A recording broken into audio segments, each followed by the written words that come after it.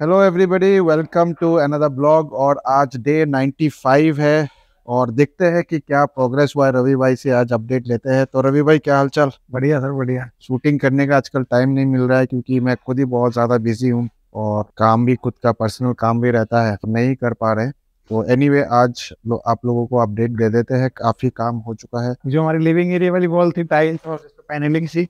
हाँ। ये हमारी कंप्लीट हो चुकी है माइका वाइका लग के अच्छा। बस अब इसमें लाइट का पॉइंट रह गया इधर लाइट और सारा फाइनल है हमारा जो भी है ये ठीक है। पैच बेंडिंग टेप लगनी बाकी रह गई है। हाँ। ये हमारा सारा का फाइनल हो चुका है। हाँ। इसमें लाइट प्रोफ़ाइल भी लग चुकी है। बस इसमें भी अभी स्विच लेट ऑर्डर हो गया। अभी आपको कुछ दिन बाद जली हुई नज़र आएँगी। और विंडो की खिड़की खिड़कियाँ लग चुकी है हमारी ग्रेनाइट लाइटिंग हो चुकी ग्रेनाइट जो है यहाँ पे भी ग्रेनाइट सारा लग चुका है। सारी हो गई है हमारी। है ना? ये सारा चीज़ है। और आप देख सकते हैं कि सारा फॉल सीलिंग में लाइट का जो है ये कटिंग भी हो चुका है। और ये शेड लग आज कंप्लीट हो गए हमारे सारे। अच्छा ये शेड भी हमारा हो गया है कंप्लीट ये देख लीजिए। तो ये कल और आज में ये सारा जगह पे शेड लग गया है। और यहाँ पे टाइल भी आप देख सकते हैं कि टाइल लग चुका है। ये कैसा लग रहा है? ये टाइल कमेंट करके ज़रूर बताना। टाइल लग चुकी है इसके ऊपर पत्थर लगना है बस। हाँ ऊपर पत्थर लगेगा है ना? तैयार हो चुका है हमारा। हाँ ठीक है बहुत बढ़िया। और हमारा फायर एरिया में माइक लग चुकी है। फायर एरिया में भी हाँ ये तो काफ़ी पहले लगती है ना ये गया हमारा। हाँ। इसकी भी लाइट कटिंग हो गई है। ये भी कटिंग हो चुका है आप देख सकते हैं। और इधर भी सारा लाइट का जो है कटिंग हो गया है। अभी और फिनिशिंग स्टेज ही है ऑलमोस्ट हाँ फिनिशिंग है और ये हमारा ड्रॉप डाउन जो बेड है ये हाँ ड्रॉप डाउन ये देखिए। कंप्लीट ही है। अच्छा ये देखिए। हाँ। इसका मैट्रेस एड्रेस बस आना बाकी है ये भी हमारा कंप्लीट हाँ। हो गया सारा बिल्कुल सही है बहुत टाइम लगता है वुडन वर्क में और यहाँ पे आप हाँ। देखिए ये हमारा ग्रेनाइट लग गया है और यहाँ से व्यू देखिए कितना सुंदर लग रहा है आज मौसम बहुत अच्छा है सनसेट हो रहा है यहाँ से और देखिए कितना खूबसूरत व्यू है यहाँ से और ये भी अभी ये कंप्लीट नहीं हुआ है अभी तक हाँ अभी ये कंप्लीट नहीं हुआ है हाँ। मार्केट में अभी है नहीं। और यहाँ पे थोड़ा सा अपडेट है ये बता देना इस जगह पे। हाँ ये चेंज हुआ है हमारा। हाँ। ये पहले हमारा फुल जितना नीचे स्टडी टेबल था जितनी टॉयलेट थी उसी के अकॉर्डिंग हमने ये लॉक ले लिया था बट अभी हाँ। हमने डिसाइड करा है कि इसको हम एक फीट रखेंगे जो नॉर्मल स्टैंड कोई खास वजह? हाँ इसको अब कम कर रहे इसलिए काट रहे हैं ताकि अगर हम इसमें उससे यूज़ करते तो ये हमारे सर में लगता हाँ। और पहले की चीज़ ड्राइंग के अकॉर्डिंग सारा सिमेट्री दिखाने के लिए सब बना दिया था तो ये हम चेंज कर रहे हैं। ये जो स्टैंडर्ड रहता है एक फीट रखेंगे हम इसको काट कटिंग करके इसको दोबारा फिक्स करा जाएगा। ठीक है। यही रहेगी बस ये थोड़ा सा इसकी डेप्थ कम हो जाएगी। हम्म। वो ड्रेसर्स के वार्डरोब कंप्लीट हो चुके हैं हमारे। हाँ ये भी आपने शायद नहीं देखा होगा इधर भी ये जो हमारा पहले बाथरूम था इसमें हम ड्रेसर बना रहे हैं। तो ये देखिए ये जब कंप्लीट हो जाएगा तब आपको बेहतर समझ में आएगा। हाँ जब ज़्यादा अच्छे तरीके से आएगा। हाँ और यहाँ पे कुछ खास नहीं है तो पैनलिंग पहले भी था वैसे ही है। इसमें माइका का काम शुरू हो गया है। अच्छा। माइका लगना शुरू हो गई है। तो इधर माइका आज लगे कौन सा माइका है? कैसा है?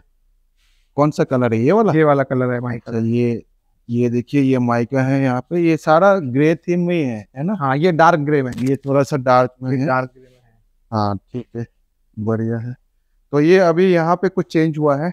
हाँ यहाँ पर बीच में हमारा लुटेड लेमिनेट था तो वो हमने चेंज कर दिया है तो अभी हम्म। पूरा हमने सेम कर दिया है ताकि ये दोनों वॉल सेम हो जाएगी और ये वाला हमारी हाईलाइट हो जाएगी। तो ये कोई खास वजह था यहाँ चेंज करने का?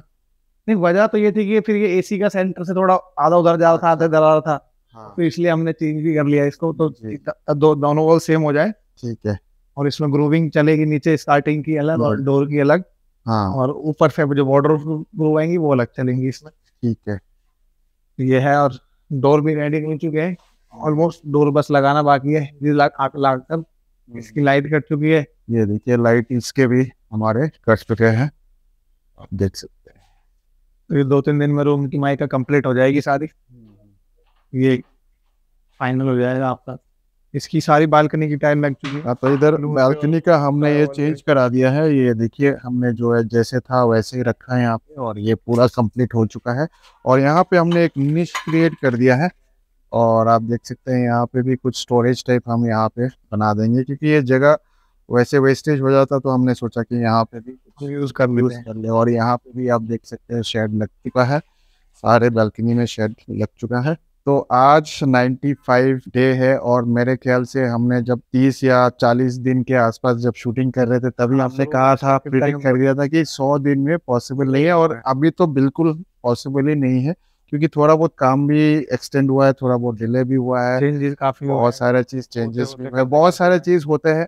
तो मैं आप लोग को बस यही कहूँगा कि अगर 100 दिन का टाइम है तो आप 20 दिन 25 दिन एक्स्ट्रा लेके चलिए। हो सकता है कि 30 दिन भी एक्स्ट्रा लग सकता है क्योंकि ये सब काम में काफ़ी टाइम लगता है। क्योंकि जब काम होते होते हाँ। भी काफ़ी चेंजेस हो जाते हैं चीज़ें हाँ। आँखों के आगे आती हैं तो कुछ अच्छी लगती हैं कुछ थोड़े चेंज और डिज़ाइन चेंज हो जाते हैं कुछ और हाँ तो एक अच्छा चीज़ तो है। कि जो आप ये मत सोच के चलिए कि जो डिज़ाइन आपके बन गया एग्जैक्टली वैसे ही बनेगा। ये नहीं होने जा रहा है। सिक्सटी परसेंट के आसपास आप मान के चलिए कि एज पर डिज़ाइन हो जाएगा लेकिन 40 प्रतिशत के आसपास मुश्किल है क्योंकि बहुत सारे टेक्निकल चीज़ भी होते हैं और जब आप एग्जीक्यूट करने लगते हैं तो शायद आपको ही अच्छा न लगे। है ना?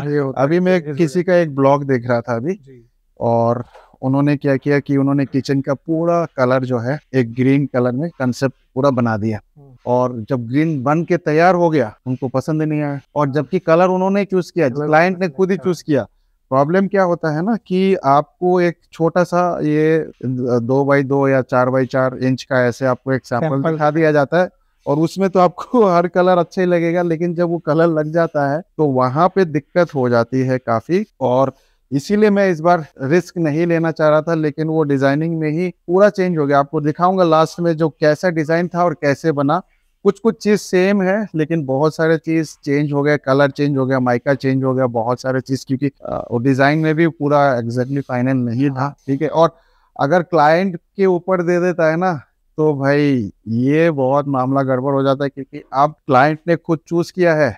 तो जो कॉन्ट्रेक्टर है, वो कहेगा आप ही ने चूज़ किया है। ठीक है, ये भी एक बड़ा परेशानी है। इसलिए मैं इस बार ना कुछ चूज़ करना ही नहीं चाह रहा था। मैं पूरा सारा चीज़ मैंने कहा कि इंटीरियर टीम करेंगे, क्योंकि होता क्या है ना कि उनकी एक्सपीरियंस ज़्यादा होता है, आपसे ज़्यादा एक्सपीरियंस होता है। उनको मालूम है कि ये कलर जैसे किचन में मैंने डिज़ाइनर को बोल दिया था कि कौन सा जो कलर आपको ठीक लगे क्योंकि हम जो देखते हैं, हर चीज़ अच्छा लगता है। तो उन्होंने बोला कैपिचिनो कलर अच्छा लगेगा? मैंने कहा कैपिचिनो पे चलते अभी पता नहीं होने के बाद पता चलेगा अभी तो कुछ दिख भी नहीं रहा है कि कैसा होगा लेकिन मैंने इस बार कहा कि मैं नहीं कराऊँगा। हाँ पुराने जो घर है जिसको मैंने लास्ट ईयर रिनोवेट किया था उसमें मेरा पहले से माइंड क्लियर था कि ये स्टूडियो हाउस बनाना है और वाइट थीम में रखना है।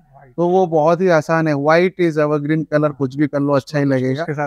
व्हाइट के अलावा कुछ भी कलर अगर आप लेते हो तो अगर ग्रीन येलो रेड ब्लू कुछ भी लेते हो शायद आपको ना अच्छा लगे बनने के बाद। एनीवे anyway, आप लोग बताना अभी तक कैसा प्रोग्रेस है और कैसा लग रहा है और कलर थीम कैसा है आपका कमेंट का इंतज़ार रहेगा। तो उम्मीद करता हूँ ये ब्लॉग भी आपने एंजॉय किया होगा, देखा होगा कुछ। आगे आगे आप लोग को और टिप्स देता रहूँगा कि कैसे आप पैसे बचा सकते, कैसे आपके पैसे खर्चा भी होते हैं, जो कि आपको पता भी नहीं चलेगा। सारा चीज़ बताऊँगा, है ना? और फ़िलहाल तो आप एक पूरा घर का व्यू देखो और मज़े लो, फिर मिलते नए ब्लॉग में। तब तक के लिए बाय